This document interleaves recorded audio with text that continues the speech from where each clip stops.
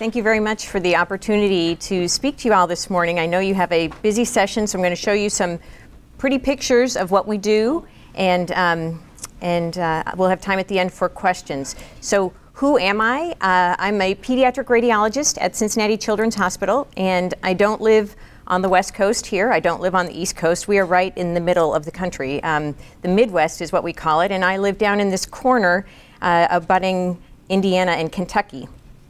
Our hospital is uh, very well funded. We have 600 beds.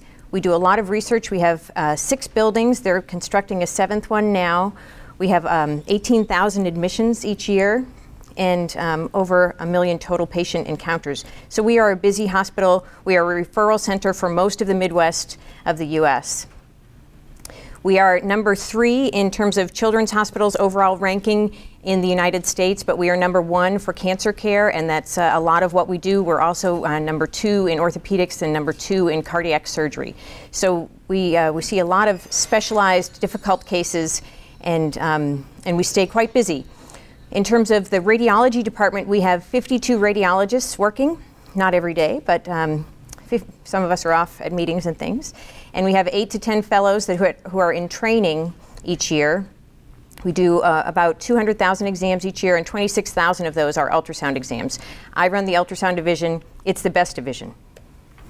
uh, our radiology department is always up to date. We have um, great machines in all modalities. We have uh, eight of your Toshiba Aplio 500s and um, just about every other vendor in the other modalities. Um, we have lots of things to make the patients comfortable and to make the parents comfortable.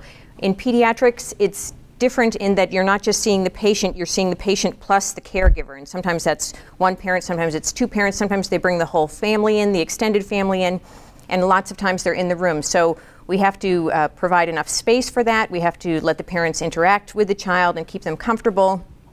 And we have a lot of ways of doing that. We were one of the first uh, children's hospitals to develop and use these video goggles in the magnet so that the children can watch movies while they're having their, their scans and not need to be sedated. Um, we have iPads that the uh, patients can use to be distracted while we're scanning them. And um, we also have child life personnel who are uh, specialists in keeping children comfortable. They understand the psychology of children, they know how to keep them uh, entertained and uh, not frightened by the exam. In the ultrasound division, as I said, we have six scan rooms and then we have two more machines that are going portable all day long. Um, and in our exam rooms, we have additional distractions for the children. So why ultrasound? It's really the best imaging choice in pediatrics in my mind. There's no ionizing radiation and parents are very in tune to that. You could ask uh, a, an adult you know, we need to do a chest x-ray on you, and they wouldn't bat an eye. But if you say, I need to do a chest x-ray on your child, they'll say, well, why? Do we really need this, this test? Can we wait? But for ultrasound, there's no ionizing radiation, so it's a good test to do. It's painless. All you do is rub on the child. no sedation is needed. I haven't sedated a child in 15 years in our division. So um, occasionally we'll go, if we have an autistic child or someone with severe mental retardation who can't understand what we're doing, will go to uh, the post anesthesia care uh, division and scan them there while they're recovering from some other procedure, but we, we very seldom sedate. It's portable, it's fast, and the parents can be right there and see what we're doing.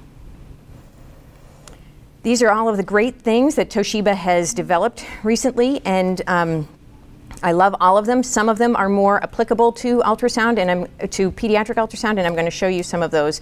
But I think the, the important thing to note here is the high resolution images, because everything else builds on that primary image. And if you don't have a good B mode image, then the rest of it isn't going to look good. And um, I think the resolution with Toshiba is the best that I've seen, and, and that's why we continue to, to use your product. So here's a couple of examples of the great detail that we can get on our pediatric patients. Uh, these are both kidneys, one using the linear and one using the, the curvilinear probe, and you can see how beautiful this detail is. You can make out the urothelial lining of the renal pelvis. You can see the renal pyramids and the tips and where they join into the collecting system. A couple more examples. Here is slow flow in a jugular vein and you can see the, the red blood cells just reflecting the waves. It's amazing to me. Here's a child with microlithiasis, tiny calcifications in a testicle. And that's something that we follow because there's a higher incidence of tumors in, in testicles that have these small calcifications. We don't understand why, but we follow them and watch for the development of that. This is a child with a metabolic disorder, and he's depositing calcification and other minerals in his kidney in a patient with nephrocalcinosis. So we monitor those uh, sorts of patients too to see how well they're responding to treatment. Pediatric hips. The, when I first uh, was entertaining buying new machines, pediatric hips was really in the forefront of why I um, needed new technology. And you all could offer the, the angle measurement. This is probably 10 years ago now. You could offer this angle measurement, which shows me how, how well the acetabular roof is formed. So this is the, the pelvic bone, and this is the socket, the hip socket, and this is the femur that fits into that socket. Okay, so we need to know how sharp this roof is and how much coverage it affords the femoral head because the pediatric hip needs both pieces to be together in order to continue to grow. The hip, the femur senses that the acetabulum is there, the acetabulum senses that the femur is there. And if they aren't in close connection, then neither one develops correctly. So we measure this roof to see if the roof is sufficient to keep the femoral head from popping out, because that would be a hip dislocation and uh, hip dysplasia. The other part of the equation was coverage. So, how much of the femoral head is covered by the acetabulum? And that's what you see this measurement is. So, we draw a line down the iliac bone and we draw a circle around the femoral head. And the first time I bought Toshiba machines, this was not available. And I said, I really, really need to have this. And you took it back to Japan for me and you made it. And I was so thrilled. Within three months of having our machines installed, it it was there on my machine. They came, they did the upgrade, and I was just amazed because you don't get that with other vendors. And um, I was thrilled to be able to, to see it, to be able to measure it. And quite honestly, the, the rest of my Department of Radiology was astounded that you actually did what you had promised you were going to do. So I, ever since then, I've been um, a huge proponent for Toshiba. You're very responsive, um, and you you listen to the customer and you understand what we need. And so I, I'm I'm thankful. Thank you for doing this. So that's that femoral head measurement. These are the uh, the various stages. I just show this because I know you're not all clinicians, but here's a normal hip. This is the socket side, and this is the outside. And the hip has to be in the socket, and then there are varying degrees. And here you can see that this hip is all the way out. Um, it's important because how far out it is determines how we treat them. So this is uh, the first picture is a Pavlik harness, and it's just a series of straps, and it holds the hips out in what we call frog position, and that helps the femoral head to stay in the socket. So that's not too difficult for patients and families to manage. But if that doesn't work, or if the hip is in worse shape, then you have to go to this option, which is a spica cast. And that's a hard cast going from the chest all the way down below the knees in a baby with a metal rod holding the two knees apart.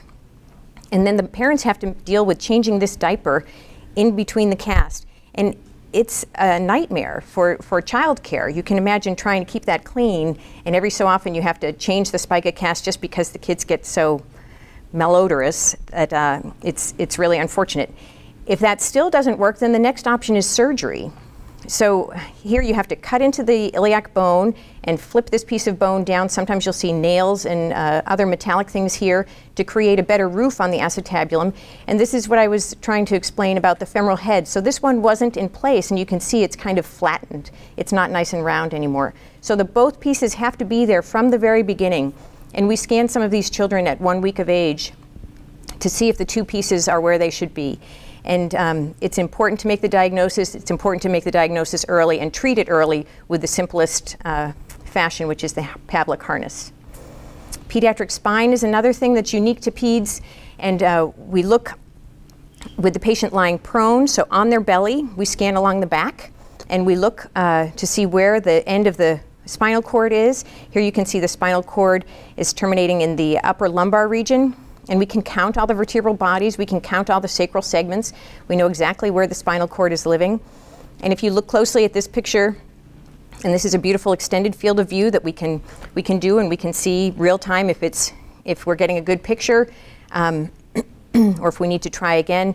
you can see that most of the fluid that surrounds the spinal cord is on this side, and that the spinal cord is lying dependently within that uh, bony canal. If, if the fluid were on the other side, there would be too much tethering. So here's the fluid again. Here are the little rootlets coming off of the cauda equina, and um, the spinal cord is lying dependently. When the spinal cord is tethered, when there's something wrong down at the base of the spinal cord, we have what we call a tethered cord, and that can be anything from a frank uh, spina bifida to a myelomeningocele to just a lipomeningocele. So they're all, it's a whole variation of severity, but we always look to see where that spinal cord is ending. And you can see that the pictures here are just as nice as what we would get with MRI, but we don't have to sedate. We have the information right away. And, um, and actually in the magnet, they scan them once and then they have to flip them over and scan them again so that they can see what gravity does. And here's an example um, just showing that this is a, a relatively uh, lesser version. There's a lipo meningocele here, and the cord is tethered, and you can see that there's more CSF, more fluid on this side than there is on that side. And the same thing, here's the, the fat, but we can show the same thing down here with our ultrasound. So it saves sedation and, um, and makes the same diagnosis. Another diagnosis that we look at uh, frequently in pediatrics is hypertrophic pyloric stenosis. Uh, what you're seeing here is the stomach filled with fluid, and here is the left lobe of the liver. So the stomach is filled with fluid because the pylorus, which is a muscle at the exit to the stomach, is too big. And when the pylorus hypertrophies or gets overgrown, it does not allow the stomach to empty well. And so the babies come in with vomiting and poor weight gain. And uh, what the surgeons will do is go in and open up that muscle so that it can uh, let the food go downstream and be absorbed. Um, one of the criteria for surgery is this single wall thickness of the muscle, so from here to here, but the other criteria is the length of the channel. And that tells the surgeons how much work they're going to have to do. And it was always hard to measure these channels because they're never quite straight. So it was hard to measure here and then here and try and get a good measurement. And so you came up with this curvilinear line, which I love. That's great. We use it all the time. Very helpful to us. Uh, this is a patient that I saw last week. This was a four week old baby girl who had um, swelling on one side of her breast, or just on one breast, on one side of her body.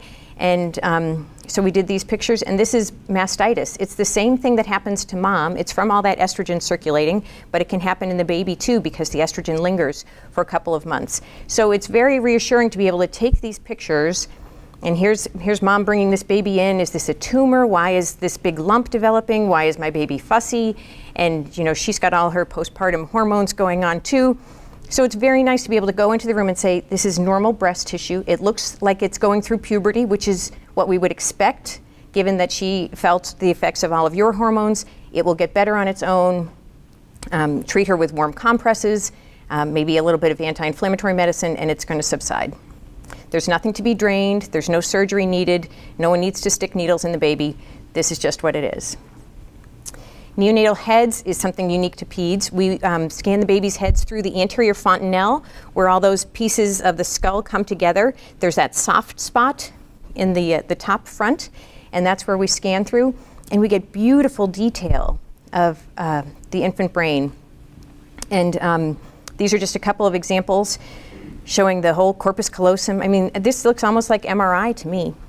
Here's the notch of the fourth ventricle, here's the cerebellum, the pons in front of it. And here's a baby with uh, gray matter heterotopia. So this lining should be nice and crisp like it is at the top, and here it's kind of lumpy and bumpy, and that's a heterotopia that we can pick up on ultrasound. So it's a congenital anomaly of the brain without having to sedate the patient for an MRI. Some of our babies need to get shunted. They have too much fluid in their ventricles, and so they, the clinicians put, the neurosurgeons put a shunt in to drain some of that fluid. Here's a patient who has a shunt. There's the echogenic shunt, and there's the echogenic shunt. And um, we were asked to see are they shunting sufficiently. So they put the shunt in, and they're adjustable.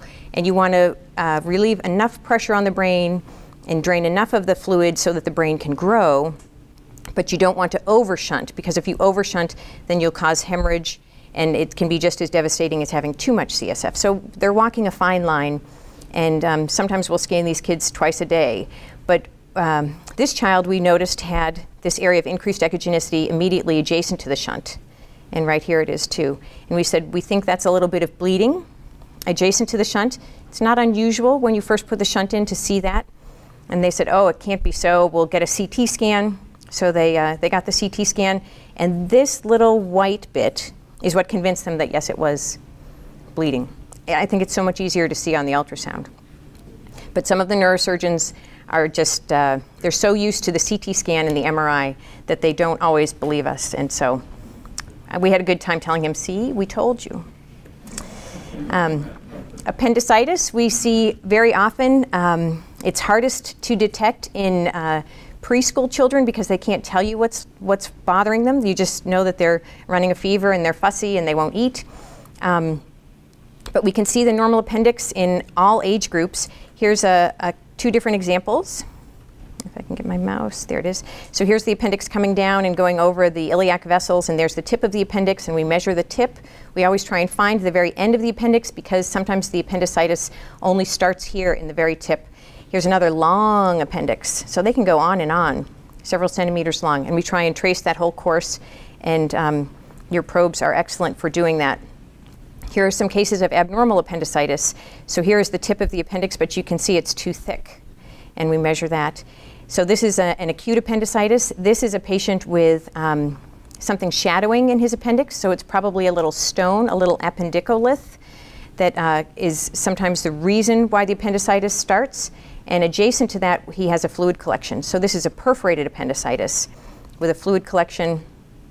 And these are treated differently, so it's important that we, um, that we make these diagnoses and let the surgeons know, because a simple appendicitis goes for laparoscopic removal, this patient will need IV antibiotics for several days, maybe percutaneous drainage of the collection, and then after several weeks of antibiotics, they'll go in and take the stone out. So they're managed entirely differently. Well, what can we do eh, for with ultrasound in the emergency room? This is a, a picture from China, and I was so glad that we never saw anybody crash, but I, I, it always made me nervous. Here's the whole family out in the family car out on the highway. Um, oh, how did this get in there? he was being a terracotta warrior. This is, this is the face that they all have. Very serious. It was, it was a good, good look for Ishi.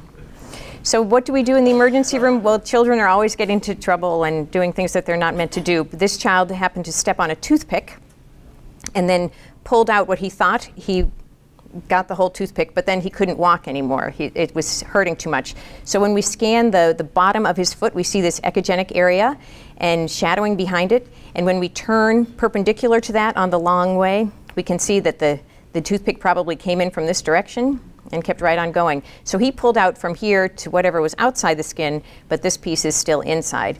And he had already had an x-ray in the emergency room, but it was not visible because most of the time wood, thorns, a lot of glass are not visible. So metal is, but um, a lot of these other foreign bodies are not. So we can tell the, uh, the emergency room doctor or the surgeons that you know it's three millimeters deep to the skin right at the puncture site and you're going to want to pull in this direction. We also do a lot of uh, vascular studies in pediatrics. This is a teenager who had his anterior cruciate ligament repaired and came in with calf pain a couple of days post-op. And you can see the beautiful detail that the, uh, the Aplio 500 gives us, looking at these vessels, the trifurcation there in the calf, and we can follow them all the way down. Uh, we have a fair, fairly large population of hemophiliacs that are seen and followed at our hospital. This is a girl who came in with abdominal pain and um, known hemophilia, and here is the collection that they saw on CT scan. Um, a few days later, she was having more pain, and they wanted to know, has it changed? Well, you don't want to do another CT scan and radiate everything, so what we did was the ultrasound, and you can see the collection. You can get good measurements with the extended field of view. It's a large collection. Here's her liver, here's her kidney, and it's in the same exact place, and the pictures are just the same. So we can avoid a CT scan and just follow her with the ultrasound. A 15 year old with testicular pain, we worry about testicular torsion, where the testicle torses and they twist the vascular pedicle, and then the testicle becomes ischemic. That's a surgical emergency because if it doesn't get enough blood flow, it's going to die. And um, with conventional Doppler, uh, we can see a little bit of blood flow. You can't count these capsular vessels because they come from a different place. So it's only the vessels that are in the testicle that reassure you. And um, look at how much better we see that with SMI. Many more vessels. And here's a clip showing that. So the SMI helps us in saving time. We can find these vessels more quickly, and it also increases our confidence. So we know that that's a well-perfused testicle. It, he does not need to go to the emergency, go to the operating room. It's something else that's causing his pain. And if we need to know um, which direction the flow is, we can just drop the cursor and get a, a pulse wave.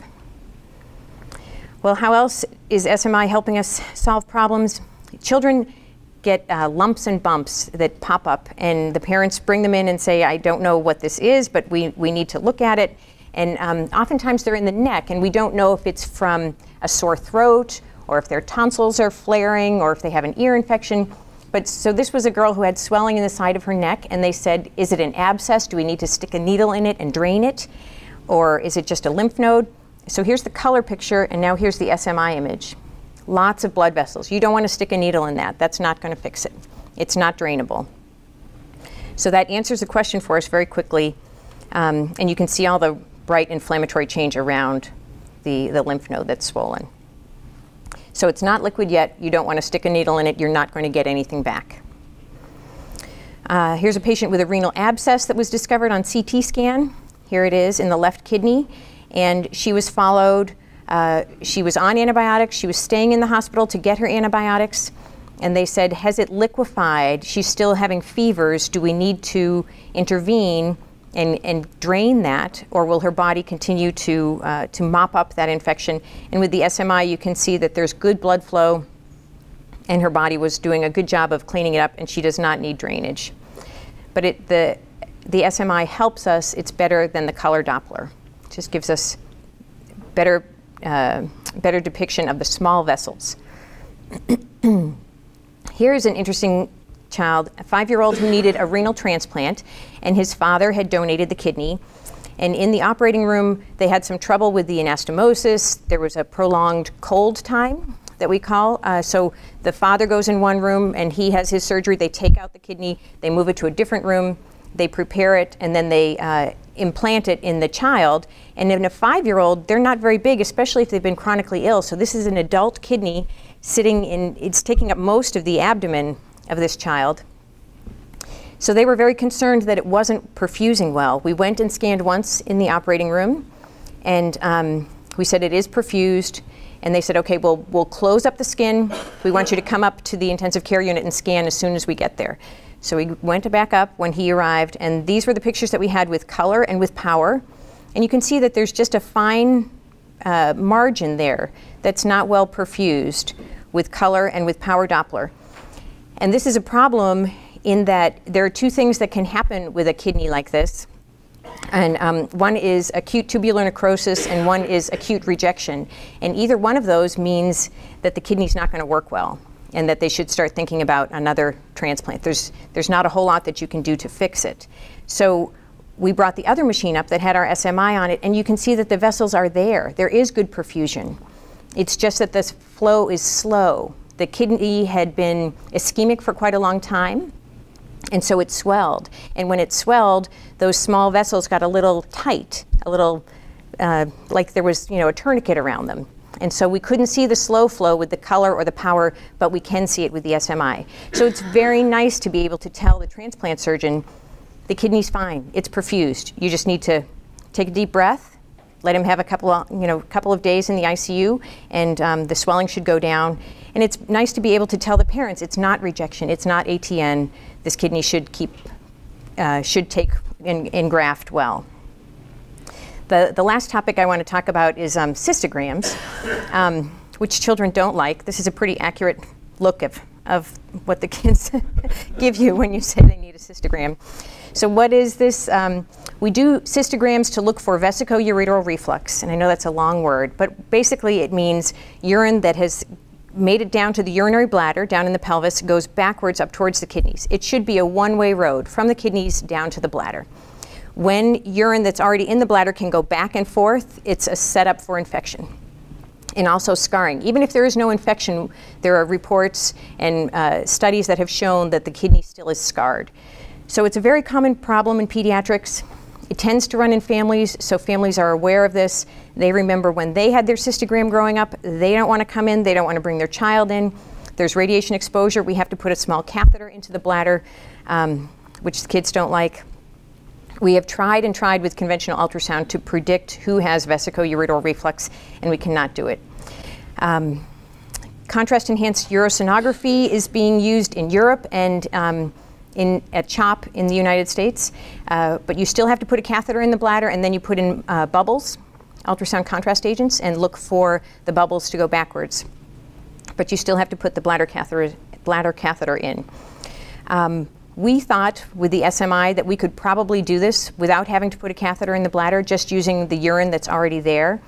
So uh, we've started looking at this. We're comparing VCUGs to the SMI. So far, well, this number keeps changing, but um, with the first 14 patients with uh, 28 kidneys, we scanned. We did not require a full bladder. We scanned uh, down low where the ureter inserts into the bladder on both sides, and then we scanned the renal pelvis and we looked for a reversed jet in the distal ureter. So usually you can see the, the jet of the urine coming down and entering the bladder. What we were looking for was stuff going backwards the other way.